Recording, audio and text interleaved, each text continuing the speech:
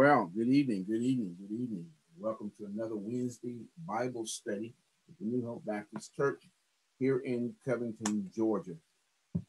Running a little late this evening, had some things that got in the way, and and uh, but we nevertheless we here, and God is good. And we pray and hope that you've had a great uh, day and having a great uh, evening. And we thank God for His grace, and we thank God for His mercy. Well, it's Wednesday, and it is um, October 14th, 2020. And here we are one more time. Uh, tonight, we're going to be studying about exercising dominion over anxiety and fear. Exercising dominion over anxiety and fear. And as we get started tonight, we want to be remembering uh, those families that stand in the need of prayer. Uh, certainly, the coronavirus has been still running rampant in our country. And so we are praying uh, for all of those families that have been directly affected, those people who've been uh, infected uh, with the virus, and even those who have died. I believe the number is close to 214,000 now, if not over. And uh, we're just praying for all those families. We're praying for all those families.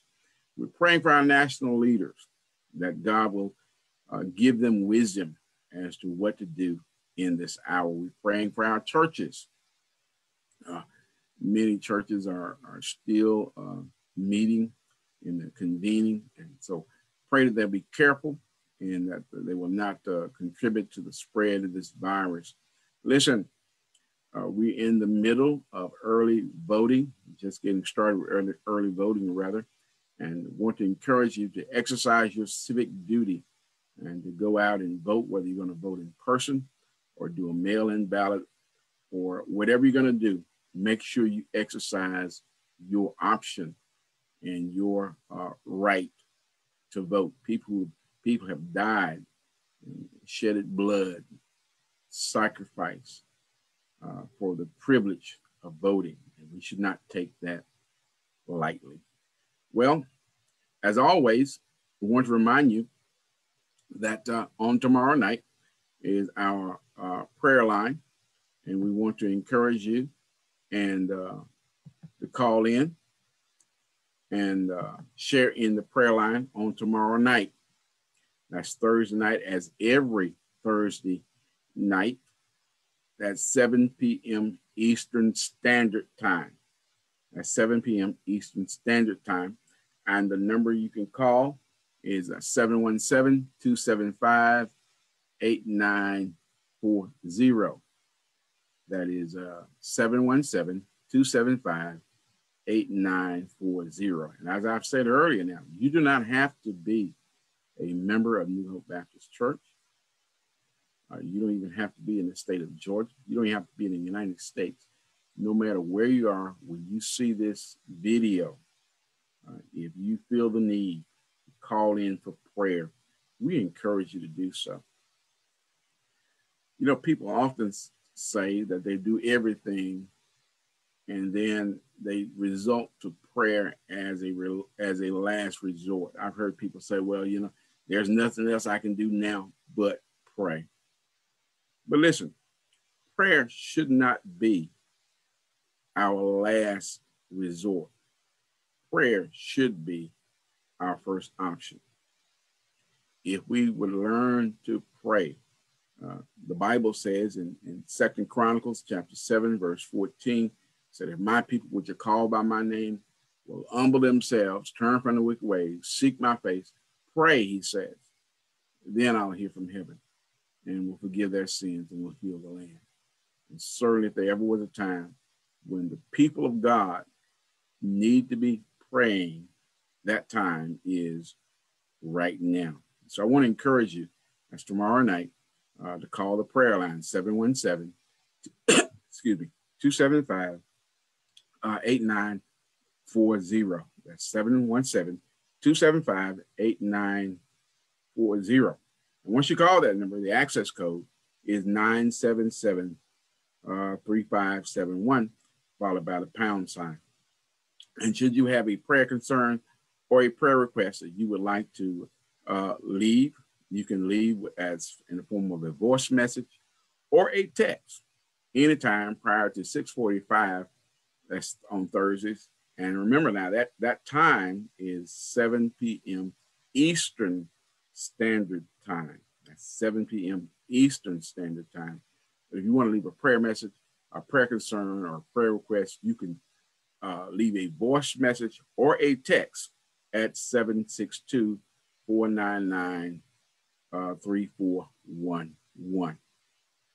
All right. Now, as we pray tonight, we're remembering our, our friend, uh, brother Charles Clark. He's, re, he's recuperating from surgery. I understand he had knee surgery. We are praying for him. We are praying for the um, the Gilstrap family. Uh, our good friend, Mother Ola Mae Gilstrap, made her transition the other day. I believe the funeral is uh, graveside service. I believe it's Friday. And certainly we are praying for her. We're praying for the Hammond family. Sister Mary Hammond also made her transition. We're praying for the Kendall family and the Mount Zion Baptist Church of Buckhead, Georgia. Pastor uh, Bishop uh, Timothy Kendall uh, made his transition. So we're just praying uh, not only for them, but for other families that have stood and will stand around the graveside in the days to come. We want to remember them in our prayers. Listen, it's their time now. Um, it may be ours tomorrow. And so we need to be praying. Also, understand that uh, Sister um, uh, Ernestine Thomas uh, and uh, family had some relatives to die, a relative to die. So we're lifting them up in our prayers also.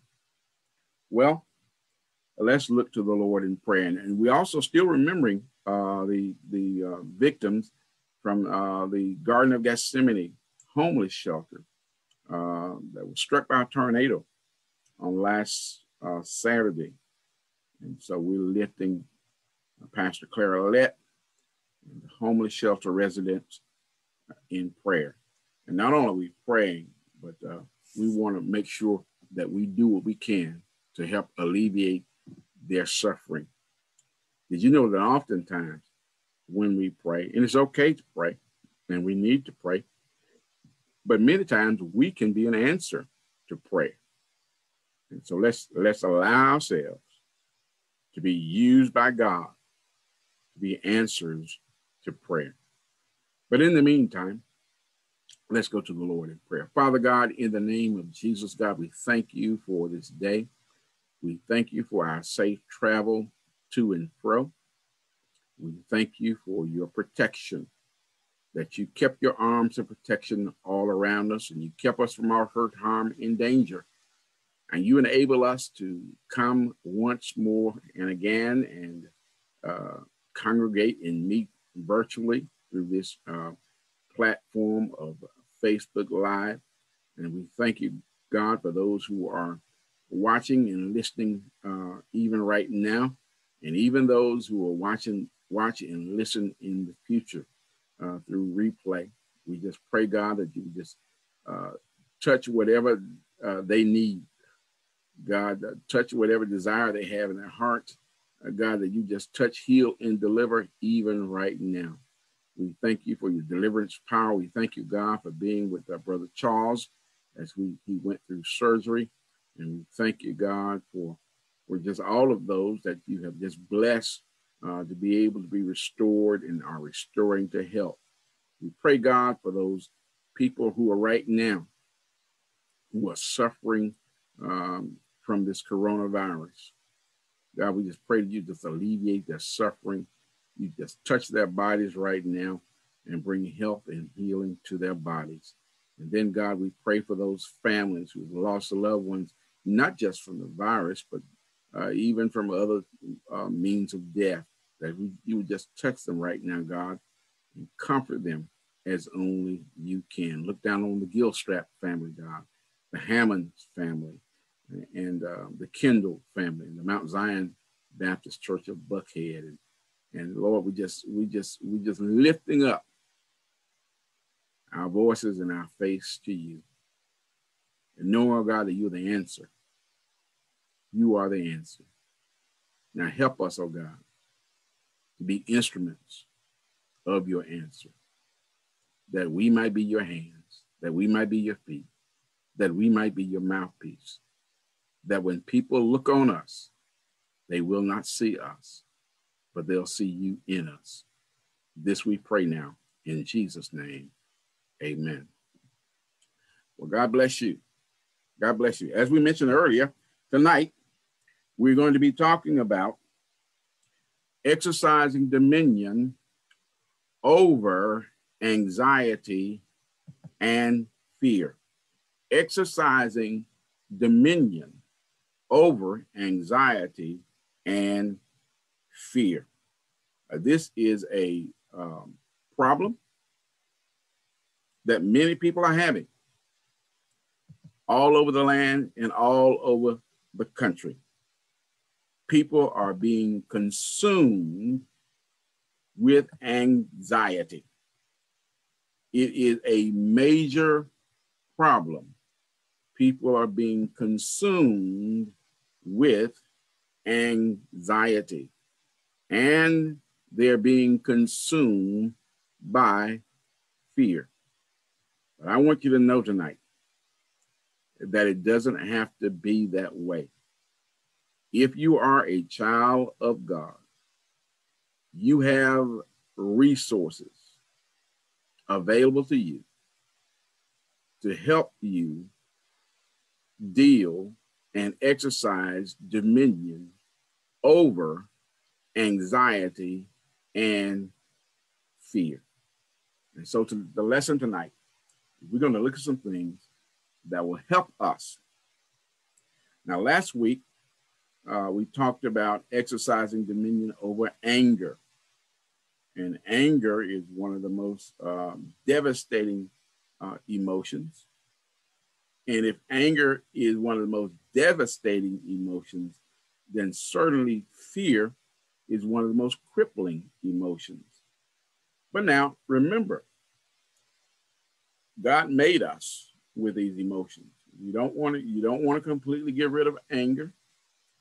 You really don't want to get completely get rid of anxiety and fear, but you want to be able to dominate and put them in their proper perspective in your life. So that's what we, that's what this lesson is about tonight. Exercising dominion over anxiety and fear. So what is anxiety? let's start off with some definitions. What is anxiety?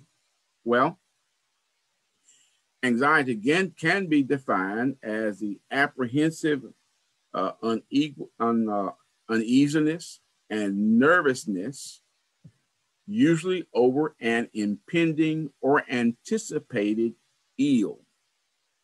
Is the apprehensive une- uneasiness or nervousness, usually over an impending or anticipated ill. It is an abnormal, no, it's abnormal. Anxiety is not normal, it is abnormal. It is an abnormal and overwhelming sense of apprehension and fear, often marked by physical signs such as tension, sweating, increased pulse rate, by doubt concerning the reality and nature of the threat, and by self doubt about one's capacity to cope with it. And then I have the, a Greek word here is di, diagot, diagot. Uh, this is the Greek word uh, that's uh, translated as anxiety in the Old Testament. It means worry and concern. The Greek word uh, marinio, it means to have anxious concern based on apprehension about possible danger or misfortune. It is to be worried about or to be anxious about. That is the definition. Those are the definitions of anxiety. Now, not only are we are we dealing tonight with anxiety, but we're also dealing with fear. And so, what is fear? What is fear? And, and what is the difference between fear and anxiety? Well, fear can be defined as an unpleasant, often strong emotion caused by anticipation or awareness of danger. And the most common Old Testament Hebrew term is used about 437 times is a word called yare, yare, and it denotes various degrees of anxious dread or terror generally experienced in the face of danger or the suspicion thereof. Now, in the New Testament, and you need to be aware of this, that in the New Testament, there are three words. There are three words in the New Testament that are used to denote fear. And, and I'm, I'm emphasizing this because, you know, as we read our Bibles, as we read our English Bibles, we need to understand that sometimes a word that's used in English, uh, whereas we have whereas we have only one word, there may be two Hebrew words, there may be three Greek words, and all of these words have different shades of meaning. Uh, the Greek language and the Hebrew language, in many ways, is more precise than the English language. And so it it it it uh, it would be a good idea uh, to have a good, uh, strong concordance. It's one of the things I recommend. You don't have to be a theologian, don't have to be a Bible scholar, but I recommend anybody reading the Bible that you at least need to have a good, strong concordance and a good, strong uh, um, Bible dictionary to help you understand the biblical text. So in the New Testament now, there are three different words uh, most commonly used to denote fear. First word, the most common, is a word called phobos. Uh, actually, the, the, the, Greek noun is phobia, the phobos and phobia. Uh, it refers to the emotion elicited by a sense of alarm, danger, or anticipation of a negative experience. It is from this word, that uh, phobos, that we get the English word phobia. And I was just reading the other day, looking over some notes I took earlier. There are over 500 officially recognized phobias. Can you, can you imagine that? There are over 500 officially recognized phobias. And I was I was going through the list, And uh, I heard somebody uh, on, on, the list, there's even a fear preacher, a fear church. You know, we, we're common with this, this claustrophobia where we, you know, we, we you know, we, we, we have anxiety and apprehension when we're in enclosed places. Uh, there's a fear of spiders. There's a fear of uh, height. These are some of the common phobias that you're more concerned, more um, um, more um, familiar with. And then, in addition to the word phobos, uh, phobos, uh, there's another Greek word is eulaphobi, phob, eulabiamai, eulabiamai, and I'm probably uh, pronouncing that wrong. And I know that my Greek professor is probably having a stroke right now if he heard me say that. And so let me just leave it alone. Uh, but this is, it means to fear or reverence. This is to regard with feelings of respect and reverence, considered hallowed or exalted, to be in awe of. This is the word that the Bible used to denote the proper reverential fear of God. Fear of God. This is the Greek word that's used for that. And while I'm on that subject, while I'm on that page, let me just say this. The fear of God is, is, is similar to the fear or the respect we should have for our parents or for parental authority. Listen, God does not want you uh, to serve him out of dreadful fear. He don't want you to serve him out of being terrorized fear, that kind of fear. He wants you to serve him out of his reverential fear, uh, akin to the fear that a child would have uh, for his parents. And so that's what this Greek word means. Now, this last word, delios, delos, uh, this refers to timidity, uh, the lack of courage. This is cowardly fear. The noun and the verb forms of this word is only found four times, only found four times in the entire Greek New Testament.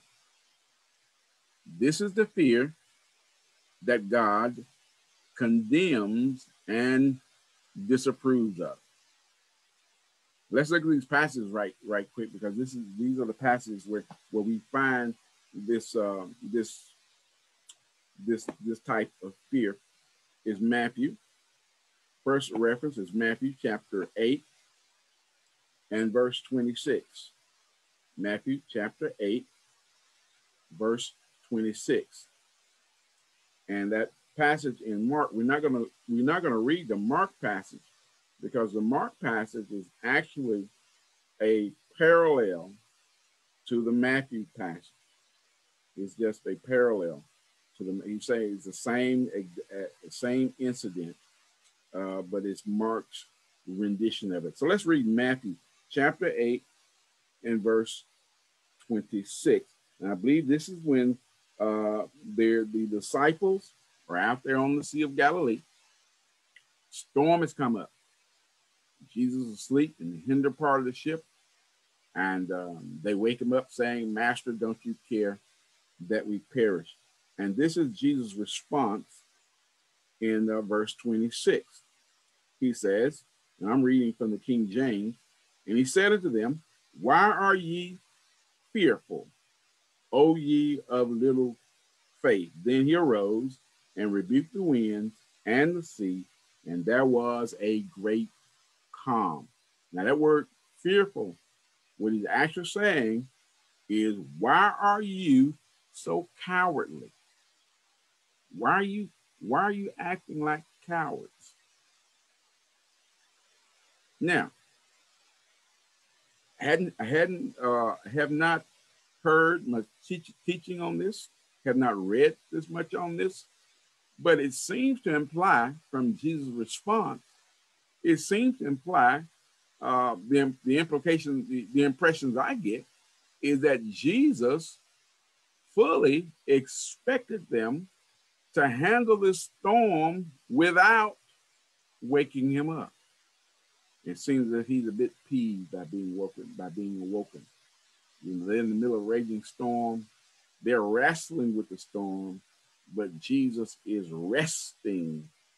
That's a sermon. They were wrestling with the storm while Jesus was resting in the storm. And the lesson he's trying to convey to them is that listen, you have you you have the authority.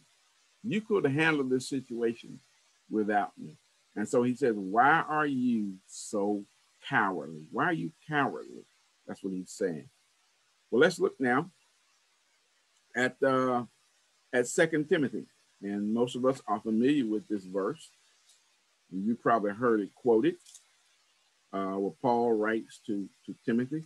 Apparently, Timothy, uh, a new pastor, was probably intimidated or being intimidated because of his age, and so Paul writes to him to encourage him and he says to him in Second Timothy chapter 1, verse 7, he says, For God hath not given us the spirit of fear, but of power and of love and of a sound mind. That word for fear is that same root there. He's talking about cowardly fear. He's talking about cowardly fear. Now, this next passage is the one that that really, I mean, this this really surprised me uh, when I read the first time I read this passage, and you have to understand in context. Um, this is this is in Revelation 21. This is when it's all over, said and done, and uh, and these are the people that are going to be outside of the kingdom these are the people who are going to experience the second death. Now, listen, anytime you're reading the Bible and you see a list, everything on that list is important. But they don't just, the biblical authors didn't just put stuff together as they thought about it and say, well, I'm just writing this down, it's coming to my mind. No, list, usually in the Bible, list means the list means something. And you need to pay particular attention to the first items on the list and the last items on the list because there's a message in their order. But look at this. Verse 8 says, well, let's read verse 7 to get some context. He says, He that overcometh shall inherit all things, and I will be his God, and he shall be my son. But the fearful and unbelieving and the abominable and murderers and whoremongers and sorcerers and idolaters and all liars shall have their part in the lake which burns with fire and brimstone, which is the second death. Now, the first thing, the first time I read this, I said, wow, you know, I I can I can I can see I can see the idolaters because they made something God that wasn't God. They worship idols. I can see them. I can see liars. The Bible says God hates a liar. He hates a lie. The devil is the father of lies. I can see that. Sorcerers. By the way, this word sorcerer, uh, uh, the Greek word is is, is uh, uh, pharmakeus. So it's, it's it's not not just reference to spells, but it's it's a reference to people who also use drugs to alter their minds and, and, and whatnot, as far as trying to change things. Whoremongers, I can see them. Murderers, I definitely can see them there. The abominable, I can see them there. Even the unbelieving, because we have to believe in order to be saved. Can I tell you something? The only thing you can do, or the only thing you have to do to be lost, is simply not believe, to be an unbeliever.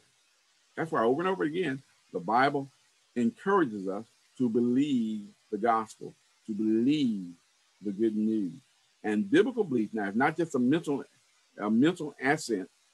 Biblical belief is trust, relying, depending on. So I, I can see all of those having their part in the lake of fire. But listen, the thing that blew my mind was his first item on the list. He said the fearful. He said the fearful would have their part in the lake of fire. And this fearful here is talking about the cowardly. The cowardly. Uh, the old folks used to sing a song that said, God can't use no coward soldier. God can't use no coward soldier. He says, the cowardly shall have their part in the lake of fire. There's a passage in the Old Testament that talks about the uh, uh, Moses is giving instructions, and he's saying that if there's anybody, he tells the people as they get ready to go to war, he says if there's anybody who's fearful among you, anybody who's cowardly among you, he said, let them go home. He said, let them go home. They don't need to be out fighting in the war. If you're cowardly, he says, you go home. Why? Because fear is infectious. Fear spread. And that's what that text says. He says, now let them go home, lest they cause the heart of their brothers to faint also. And so this is this is amazing to me that the fearful will have their part in the lake of fire. So there, there is a difference. There is a difference. There is a difference between anxiety and fear. There's a difference. They're, they're, they're similar, they overlap, but there's a basic difference between anxiety and fear. And what is, what is that difference? Well, anxiety is the emotional response to potential. And I have potential there marked off because that's the key word. Anxiety is the emotional response to potential occurrence. It doesn't have to be anything happening, it's just something you think might happen can cause anxiety. In other words, anxiety is caused by attention given to the possibility of danger, ill, or trouble. Not the actual occurrence, but the mere possibility. Thinking about that can cause anxiety. That's the cause of anxiety. Whereas fear, on the other hand, fear is the emotional response to actual danger, ill, or trouble. So the difference is anxiety is that you you you're worried about what might happen. Fear occurs when it's happening and that and you respond to what's actually happening. So anxiety is about an emotional response to potential occurrence, whereas fear is the emotional response to actual occurrence. Okay? So for example, I have this example here. Anxiety may occur when, when you're in a dark alley and you encounter uh, someone who looks like they might have a weapon, they look suspicious, uh, to potentially threaten or harm you. When you when you when you're feeling uneasy about that, that's anxiety. Whereas fear now, fear occurs when you're in a dark alley, same alley, in the person, same person you encounter, actually has a weapon. You see the gun, you see the knife, and, and, and they're threatening you with it. And as a result, you you you uh, experience fear. So it's a thin line, uh, but th- but that's the difference between fear and anxiety. Now listen, according to the behavioral scientists, humans are born with only two basic fears. Scientists, the behavioral scientists say, that's the psychologists, they say to us that the only two basic fears human beings are born with the fear of loud noises and the fear of falling. The fear of loud noises and the fear of falling. All other fears are learned. You learn to be afraid of the dark. You learn to be afraid of people. You learn to be afraid of speaking in public. All those are learned fears. The only two fears we were born with, the only two natural fears, is the fear of loud noises and the fear of falling. All other fears are learned. Now, this is good news because if all these fears are learned behavior, that means they can be unlearned. Because any learned behavior or response can also be unlearned. Now, listen, fear is not always bad. There are some good fears. You know, and in fact, as as as as when we are when we are babies, when we're infants, when we grow up as toddlers, that's when our parents teach us to fear certain things for our protection, for our safety. So fear is not always bad. There are some good fears. Uh, the fear of actual danger actually serves to help keep us safe. The reverential fear of God and of righteous authority teaches us to worship God and to have proper respect for parental and other authorized authority. In fact, that's what's that's what's wrong with, with, with a lot of people in the world. They have lost their fear. They have lost the fear of God, and certainly, you know, Paul talked about in the last days where they would lose the fear of parents, respecting their parents. Uh, that that fear is, is is dreadfully missing in our world today. Well, President Franklin Roosevelt once famously said, "The only thing we have to fear is fear itself." And so I have a few acronyms I ran across, and you might know some more, but I ran across these few, these three uh, acronyms for fear uh, in my reading. Uh, fear, someone has said that fear is false evidence appearing real. Fear, false evidence appearing real. Uh, someone has also said that fear is failure expected and received.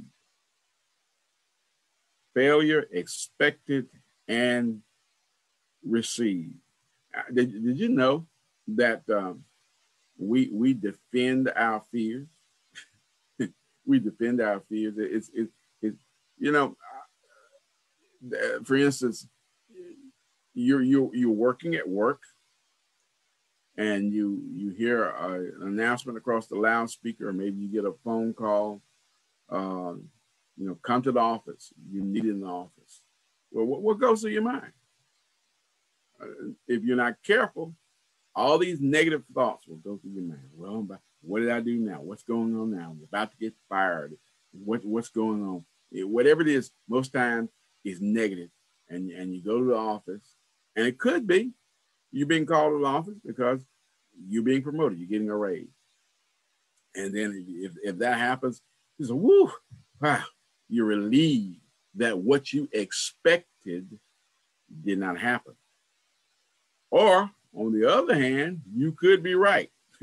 you could have been goofing off and doing the wrong thing, and you've been called to the office, and you know you get there, and your supervisor says, "Well, hey, we're gonna let you go. We're gonna have to let you go." And what do you do? Nine times out of ten, you'll go back to your coworkers and you'll tell them, "I told you I was about to get fired." You know, and that's and and you brag, well, you defend rather, uh, the validity of your expectations. So failure, uh, expected and received. And then someone also has said that fear is forgetting everything is all right. And I might amend that to say that fear is forgetting everything is going to be all right. Listen, you are a child of God. There's absolutely nothing that's going to happen to you that you and God can't handle. And so, why should we fear? Why should we be discouraged? Just learn to lean and trust and depend on God. So, what is the anxiety fear master dominion key? What is the anxiety fear master dominion key?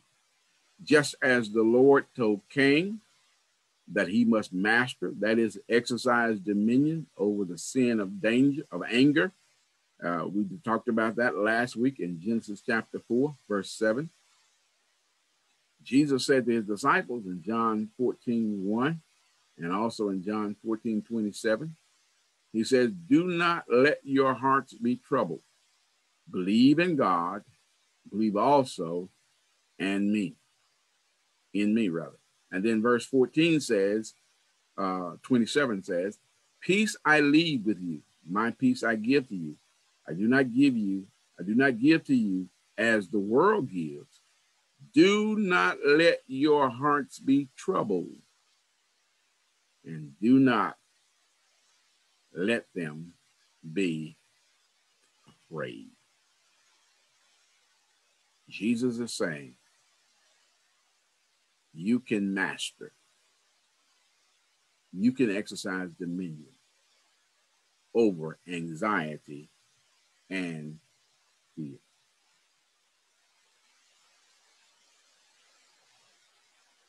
You need to understand what I call the law of command. And what the law of command simply says is that whatever the Lord has commanded, it is completely possible for us to comply with what is commanded. And not only is it possible, but the Lord has provided whatever is needed in order for us to obey the command. The Lord does not command anything that is impossible for us to do. Now, here's the kicker it may be impossible for you to do it by yourself, but it's possible for you to do it with his help. And see, that's the kicker. That's the key. You see, I think a lot of times we we we we think so small that we only think that God can help us do what we can do by ourselves. But God wants to help us do what He called us to do that we can only do with His help. Humanly, it's impossible. But as Jesus said on one occasion, with God, all things are possible. But note in the text, in the King James Version, the New King James, and the English Standard Version, we read, let not your heart be troubled. The New American Standard Bible, the New International Version, and the New Revised Standard Version says, Do not let your hearts be troubled. Now, what's the implication? The implication is we can control our state of mind. Let me say that again. We can control our state of mind. Therefore, if we allow our hearts to be troubled, it is not because we cannot help it, but rather it is because we allow it. Now, let me say that again because that may be a tough pill to swallow. Because normally we don't want to accept responsibility for our emotional response. So let me say it again. We can control our state of mind. If we allow our hearts to be troubled, it is not because we cannot help it, but rather it is because we allow it. And we allow it mostly because of ignorance and the lack of discipline.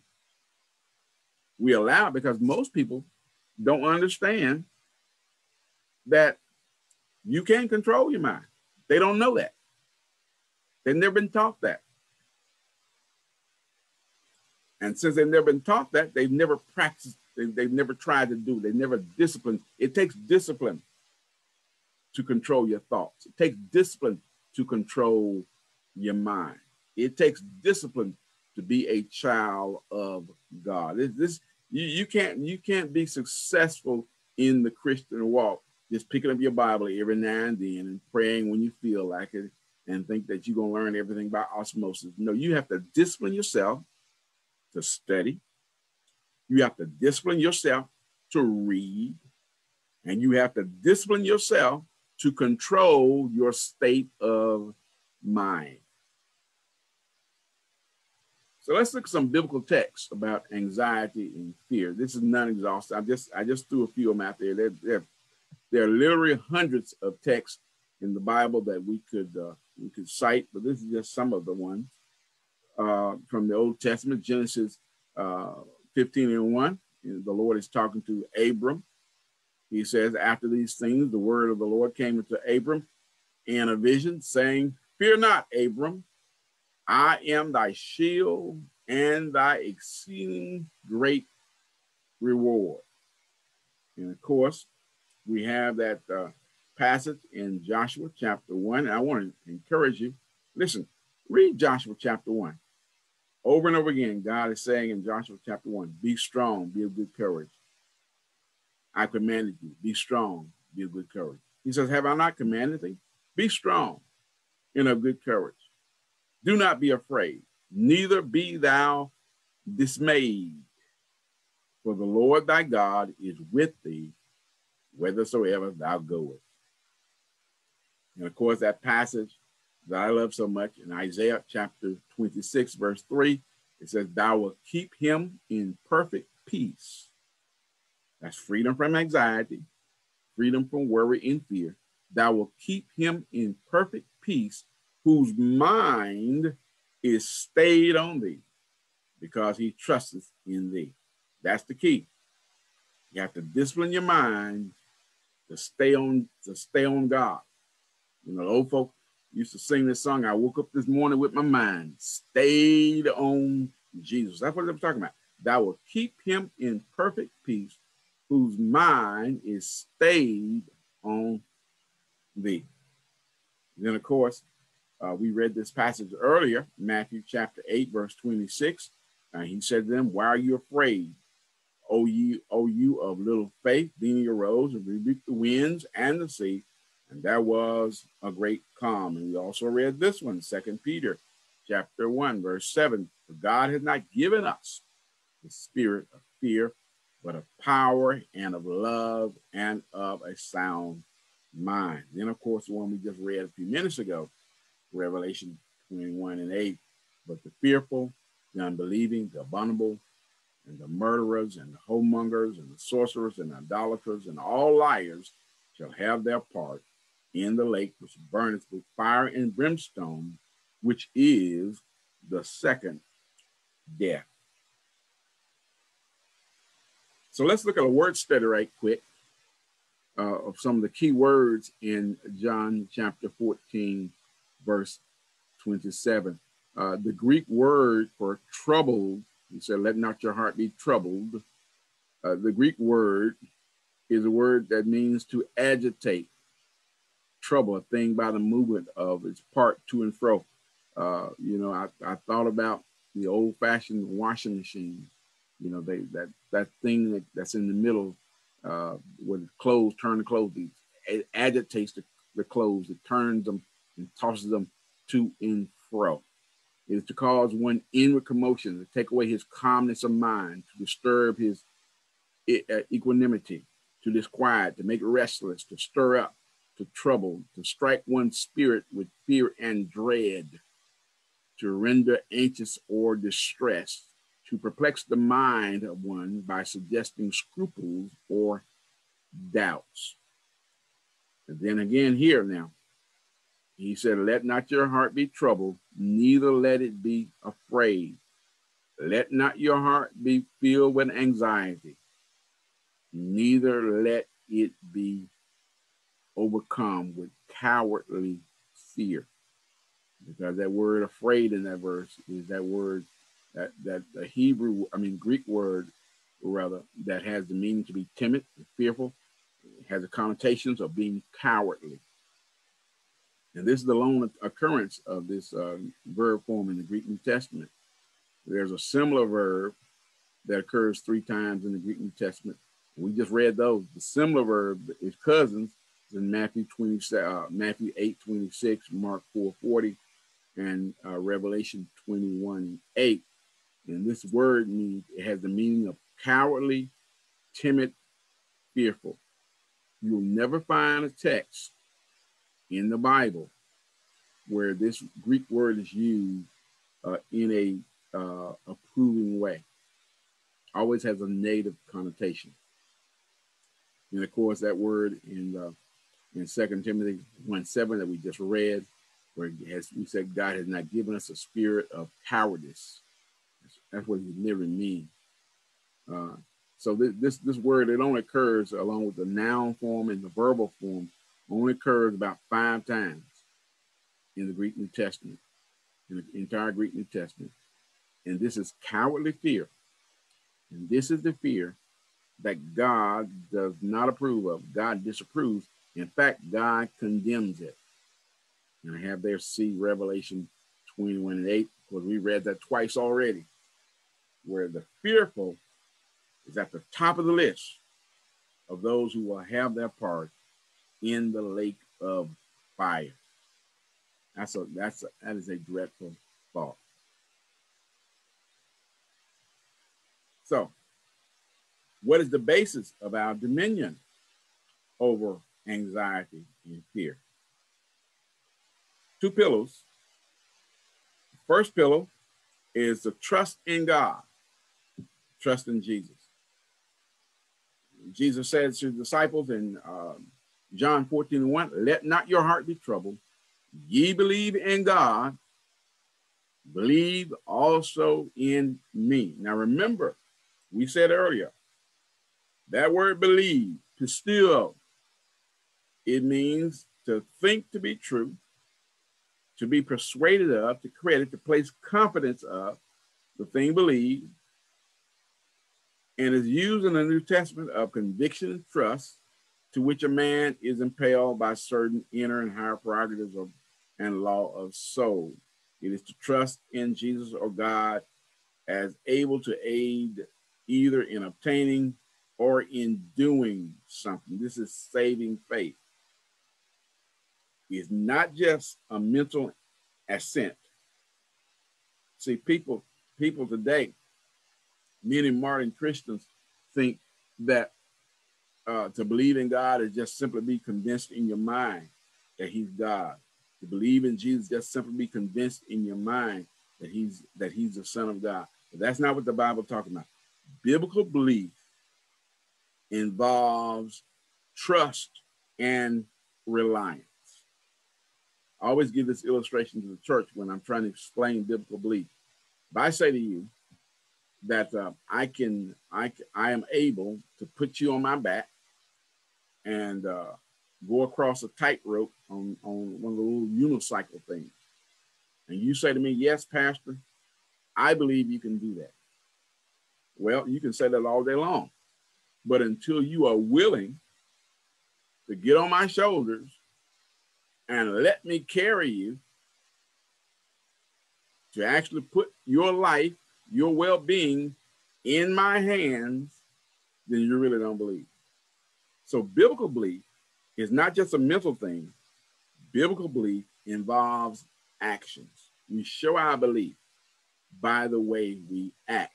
So biblical belief involves corresponding action. The second pillar, so the first pillar is trust or faith. Second pillar is peace from God, peace from Jesus. He says in uh, um, John 14, 27, he says, Peace I leave with you, my peace I give you. I do not give to you as the world gives. And the word for world there is, is, is cosmos. Cosmos. talking about the world system, the world government. I don't I don't provide peace the way they do. Now, the context in which Jesus was saying that, remember, the Jews were under Roman domination at that time. And one of the keys to the Roman Empire was this thing called the Pax Romano, Romano the Pax Romano. And that's Latin for world for Roman peace.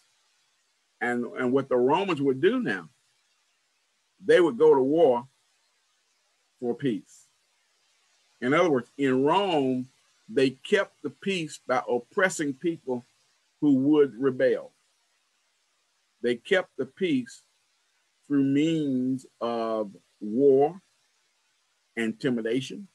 And in fact, the cross was a means of keeping the peace because it was a public spectacle when anyone's crucified on the cross, and it was designed to instill fear in others so that they would not break the peace of Rome.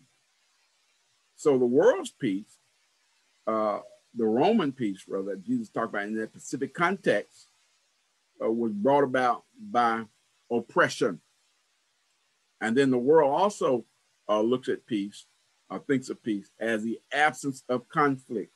But now Jesus gives a different type of peace. The peace Jesus gives is that inner peace, that comfort, uh, that calmness in the midst of the storm, the peace that Jesus gives, it does not matter what's happening on the peripheral or on the perimeter, it, it, but you can have you can have peace in the midst of the storm. You can have heaven in the midst of hell with the peace of Jesus. Uh, Leon Morris, in the New International Commentary of the New Testament, writes, he said, Jesus goes on to differentiate this gift from anything the world can give. Uh, when the world uses peace in a greeting, it expresses hope. You know, peace to you, my brother. May God's peace be upon you. That's just an expression of hope. It can do no more. And even that usually uh, does in no more than a conventional sense like goodbye, our goodbye or God be with you. That's what goodbye, goodbye literally means. Uh, literally means actually, goodbye is short for God be with you. But anyway, he says, but Christ effectively gives people peace. Moreover, the peace of which he speaks is not dependent on outward circumstances, as any peace the world can give must necessarily be, because he gives people such a peace, uh, Jesus can enjoin them to not be troubled in heart or cowardly. So he, he's talking about an inner peace. He's talking about an inner peace.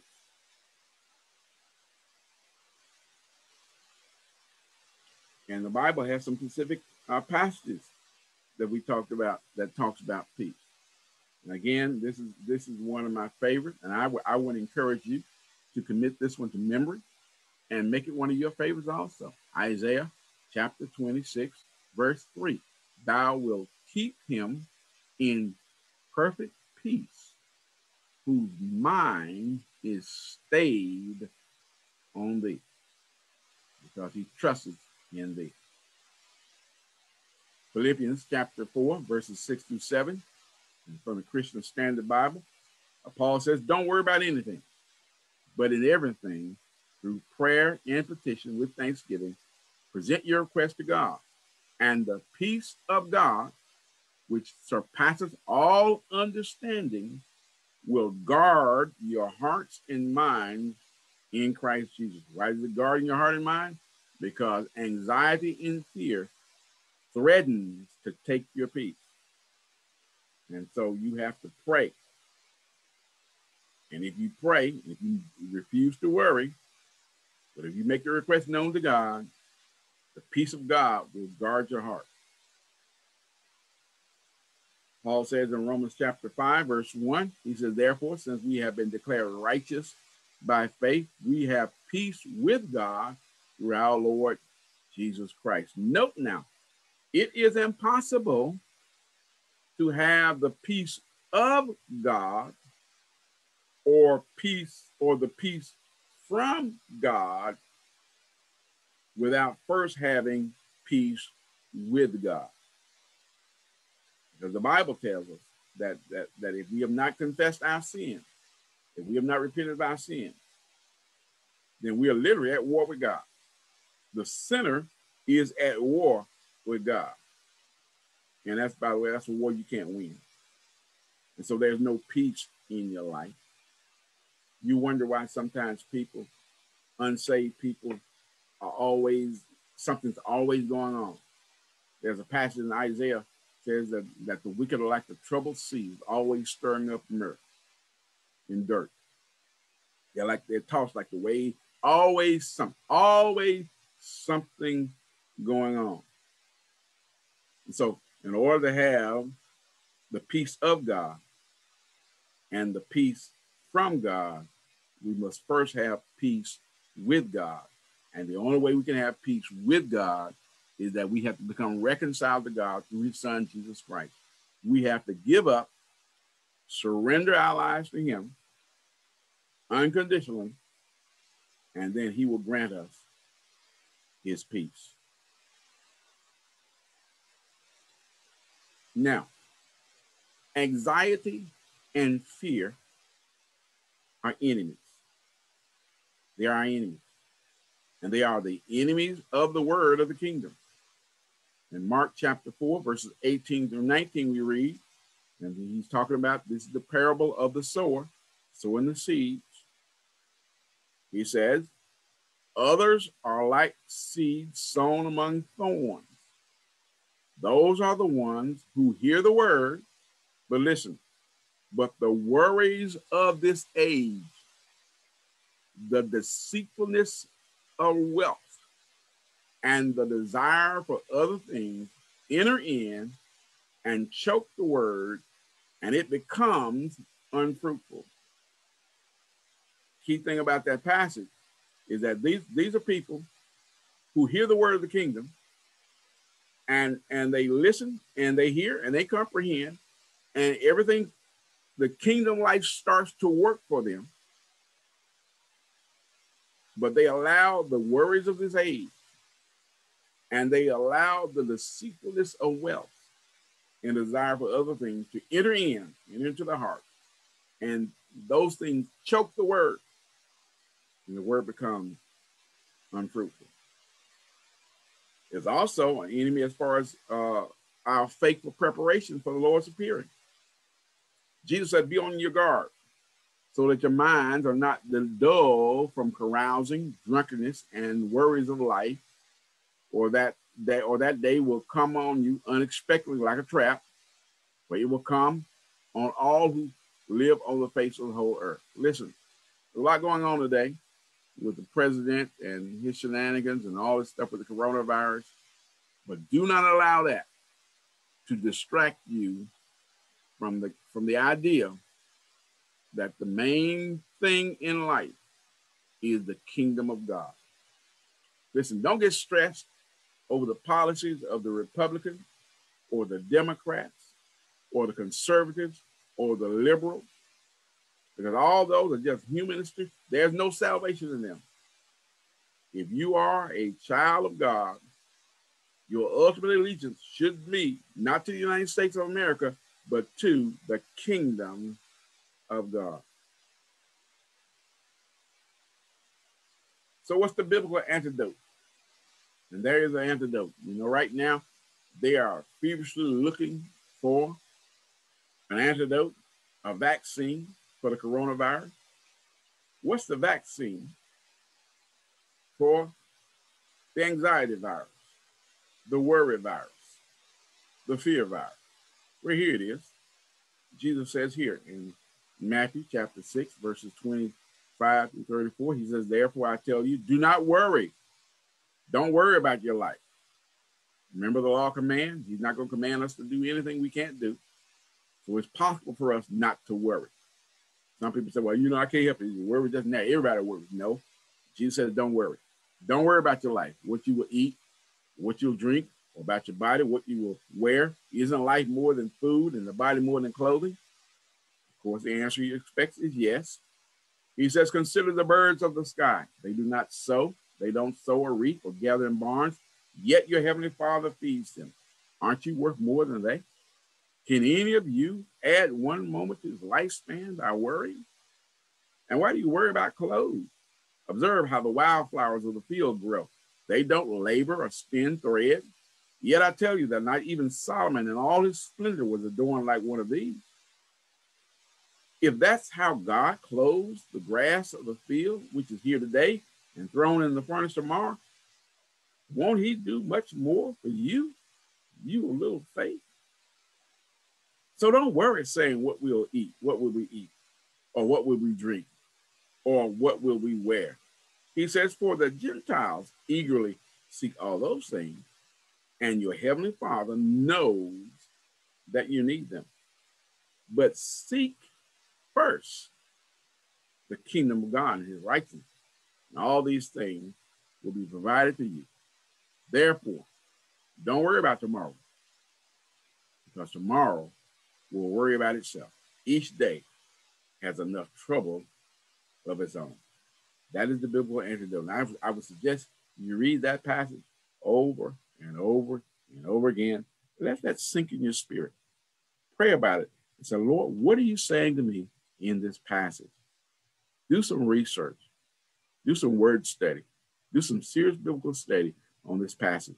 Because listen, this is the key for the cure of anxiety, of, uh, uh, for the cure of anxiety and fear.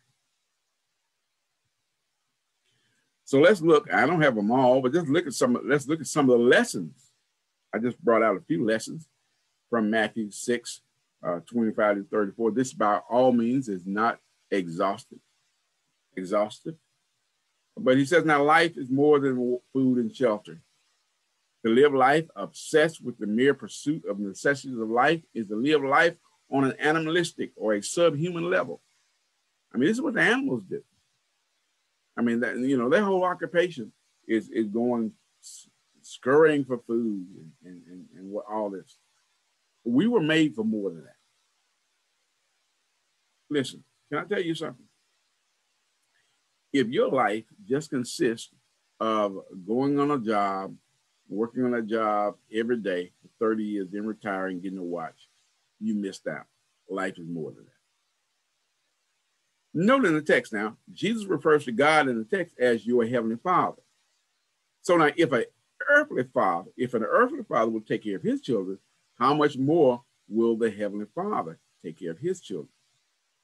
He says, if God takes care of the birds by pre-programming them for success as birds, then how much more are we pre-programmed for success as humans?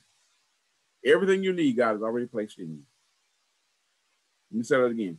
Everything you need to succeed, God has already placed in you. The problem is we don't know how to access it. And sometimes we even abuse it. So worry or anxiety about uh, cannot add a length to life. In fact, it's quite the opposite. Worry and stress shortens life. Stress can kill you, and stress will kill you. There are many people dead in the grave right now, have heart attacks, strokes, all this kind of stuff, because they were filled with anxiety and they did not know they did not know how to handle the problems of life and stress and anxiety and worry and fear took them out. Not only that, they promote diseases, high blood pressure, all these other ab- ab- abnormalities.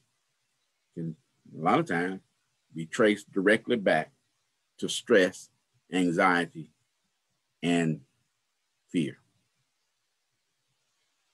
Now, Jesus used the term Gentile in this context to denote people who don't know God, people who are outside of the of the context of the covenant and the family of God. Therefore, to be anxious, to worry, and fear over the necessities of life is to act like people who don't know God.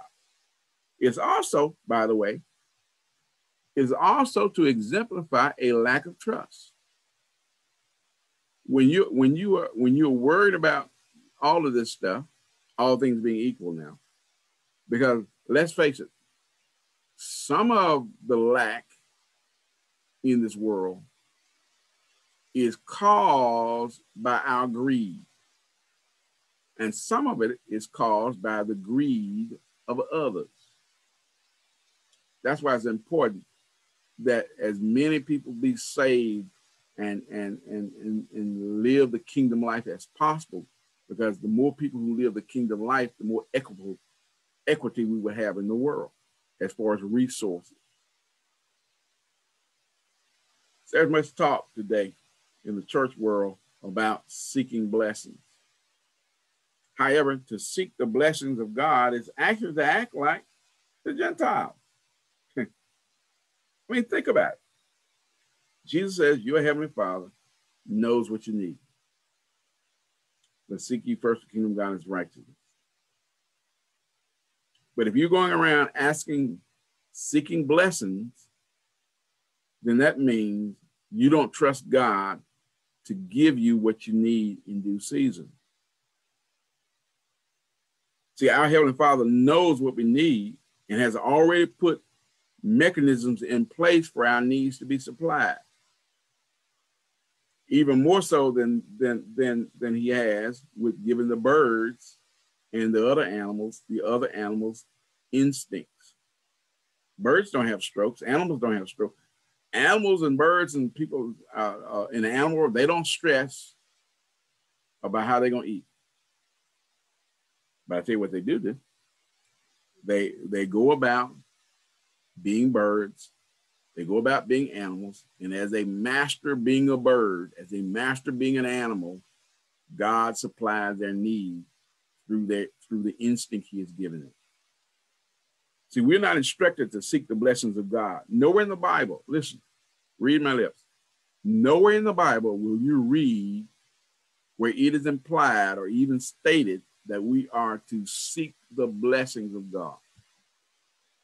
In fact, when you read Genesis chapter 1, it says after God created man, he blessed them. They didn't actually be blessed, he blessed them. Blessings are part of the package. See, we're not instructed to seek blessings. We are instructed to seek the kingdom of God and his righteousness. And as we seek the kingdom of God, and his righteousness, all the things we need will be added to us as a matter of course. In other words, if we diligently seek the kingdom and his righteousness, we will not need to seek blessings because blessings will automatically come into our lives. Listen, blessings are not the main product, blessings are a byproduct. Blessings are like sawdust.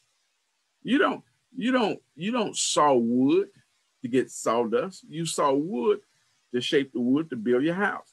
Sawdust is merely a byproduct of sawing wood. Listen, if we would just do what God has commanded us to do, if we would seek the kingdom of God and his righteousness, then the blessings that the world is seeking will come to us as a matter of course. The principles all throughout the Bible.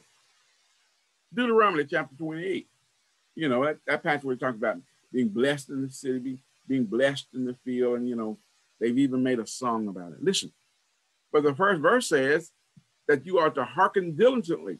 He says, hearken diligently, do your best, put forth some effort, he says, to do the will of God as it has been given to you.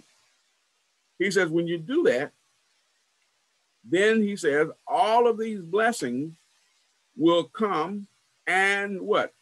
Overtake you. Overtake. I, I want to read that. He says, verse 1, he says, it, it shall come to pass, if thou shalt hearken diligently unto the voice of the Lord thy God, to observe and to do all his commandments which I command thee this day, that the Lord thy God will set thee high above all nations of the earth. He's talking to Israel, but he's talking to us by way of principle. Okay. He says, All these blessings shall come on thee and overtake thee if thou shalt hearken unto the voice of the Lord thy God. Then he talks about blessed I should be in the city, blessed I should be in the field. He says all these blessings will come and overtake you. Psalm 23. We know that psalm. Surely goodness and mercy shall follow me, David says, all the days of my life, and I will dwell in the house of the Lord forever.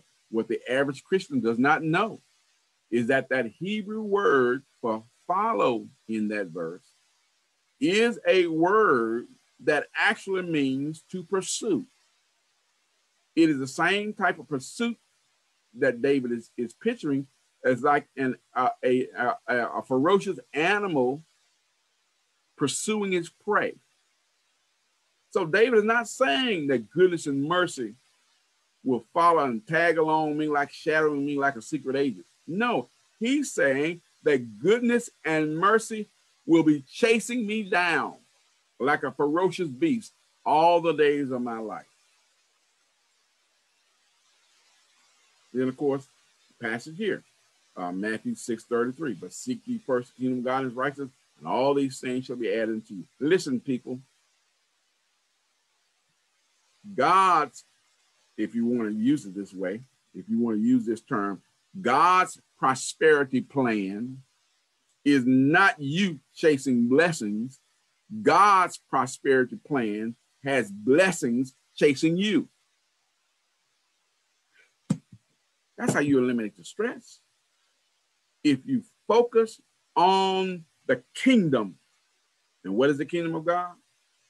It is God's rule and reign in your life and in your affairs. His righteousness is doing things God's way. When you let that be the priority in your life, when you seek those things, when you seek the kingdom and God's righteousness in the same intensity that the world is seeking the blessing, then he says, all these blessings, everything you need will come to you as a matter of course. It'll be automatic. No stress, no strain. That's God's plan. It's not God's plan for us to seek blessings. It's God's plan for bless. It's God's plan, rather, for blessings to be seeking us.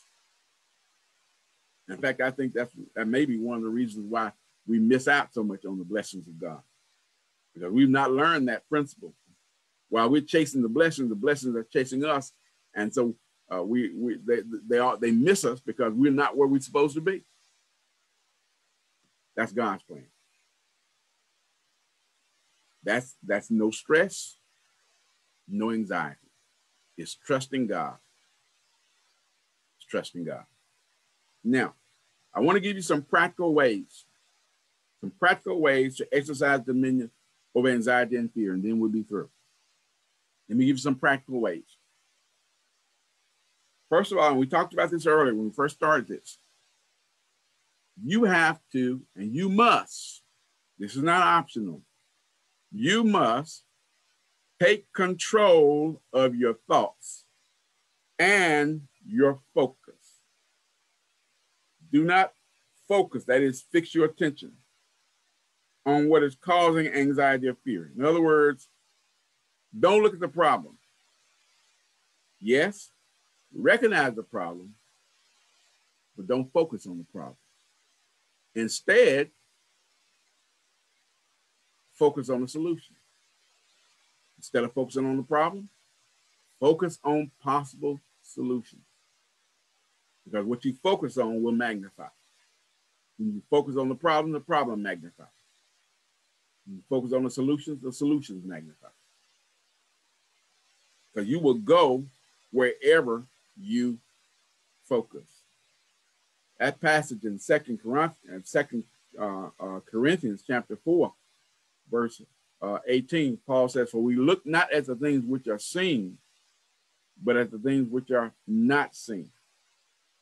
And if you look up that text in the Greek, when Paul says we look, he, he used the word uh, uh, uh, uh, that means we don't focus. We don't focus on what we see. We don't we don't focus all our attention on what we see, but we focus all our attention on what we don't see, the unseen. Because he recognized the fact that it's the unseen that controls the scene. So now he's not saying they don't even see what's in front of them. He's simply saying they don't focus on it. So here's what I'm saying glance at the problem, focus on the solution. Now, while it's easier said than done, you must, listen, my friend, you must take control of your thoughts. Most people suffer from what I call monkey mindedness. And what is monkey mindedness? Uh, monkey mindedness occurs when the mind is allowed to jump from one place to another or to be easily distracted by whatever the latest, loudest, or brightest.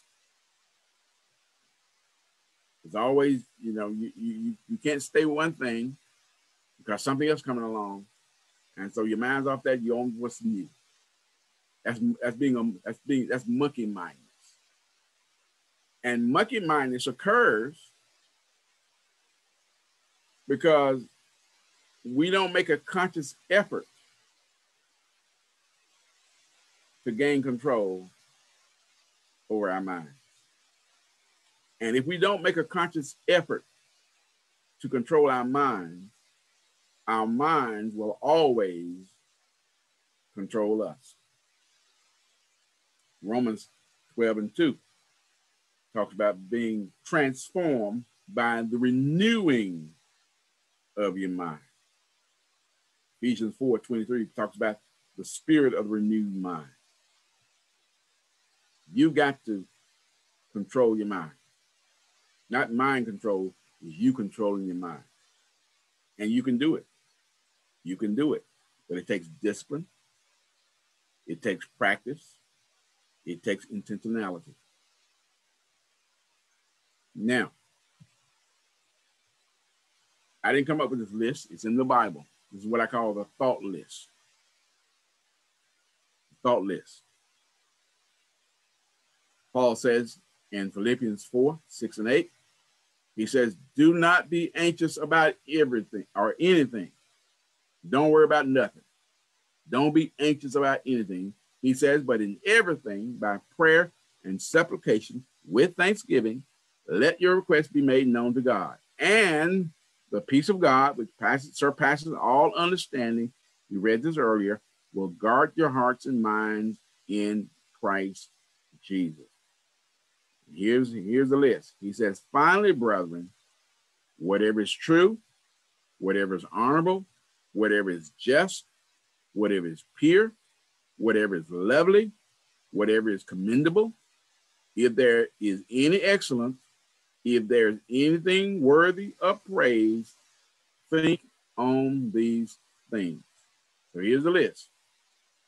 It's your, this is your homework.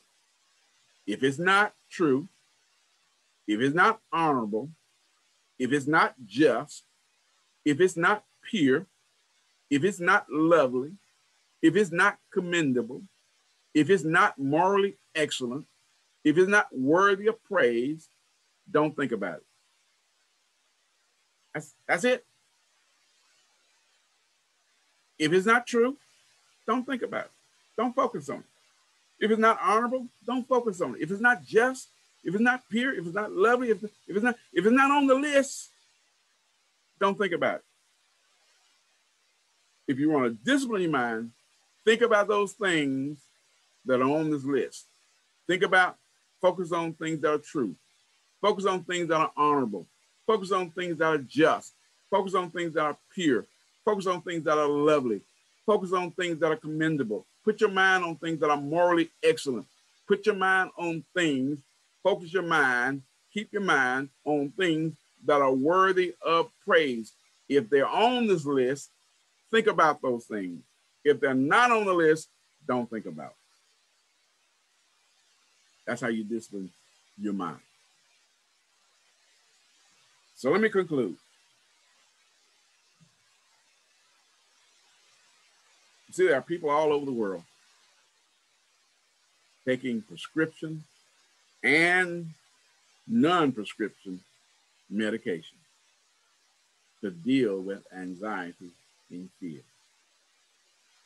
And some in the medical profession suggest anxiety is caused by a chemical imbalance in the brain. However, it really might be akin to the age-old question of which came first, the chicken or the egg, because while chemical imbalances in the brain may indeed cause anxiety, scientists have also discovered the fact that anxiety causes the chemical imbalances in the brain. But whatever the case, life dominated by anxiety and controlled by fear is not the will of God. It is God's will that you live a life of peace, free from stress, free from anxiety. And I'm talking about that stress, anxiety that cripples you, that fear that causes you not to do what you know to do, that anxiety that causes you to be afraid and be a coward when you should be standing tall and being bold. That anxiety and fear that cause you to shut up when you should be speaking. Sometimes it causes you to speak when you should be silent. Isaiah chapter 32, verses 15 through 18, talks about the time of the new millennial kingdom. He says, until the spirit on high, from on high is poured on us, then the desert will become an orchard. And the orchard will seem like a forest. Then justice will inhabit the wilderness, and righteousness will dwell in the orchard. The result of righteousness will be peace. The effect of righteousness will be quiet confidence forever. Then my people will dwell in a peaceful place, in safe and secure dwellings. That's God's will for us, my friend. To live a life that's free from anxiety and fear. And He has given us the means, the provisions to live that life.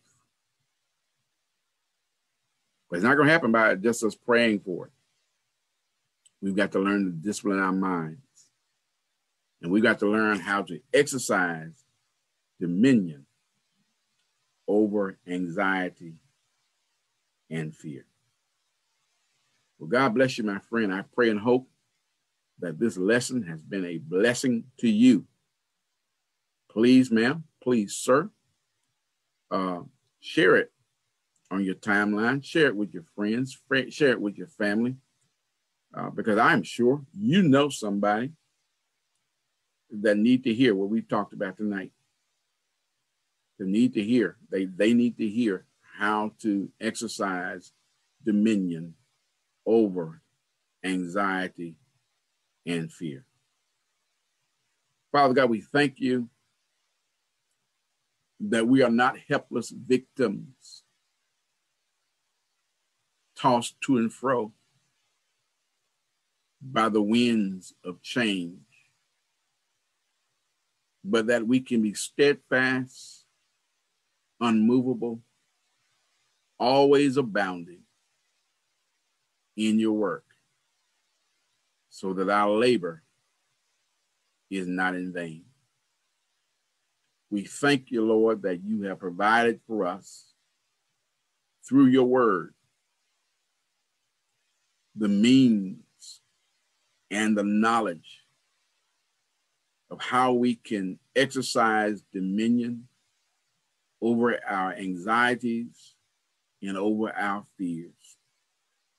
And we pray right now, God, that you would enable us to find strength within ourselves to do just that, to live a life free of anxiety, to live a life free of fear on a supernatural level, so that when people observe us having peace when all hell is breaking loose, when people observe us not stressing and straining over the things that happen in life, that they will be moved to ask us why.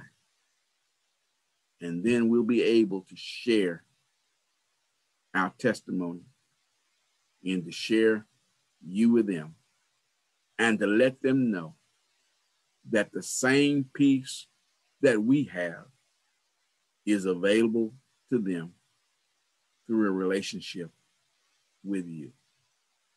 We thank you for that power. We thank you for that potential and possibility in Jesus' name. God bless you, my friend. I hope this has been, again, a blessing to you. You can find this video not only on our church Facebook page, it's, it'll be on in the timeline, but you can also find it on my personal YouTube page. And, and once you get there and find it, I want to encourage you to uh, become a subscriber to that YouTube page. Well, God bless you. It's been a blessing and it's been a joy to be with you tonight. Sorry for the little late delay, uh, but nevertheless, God is still good.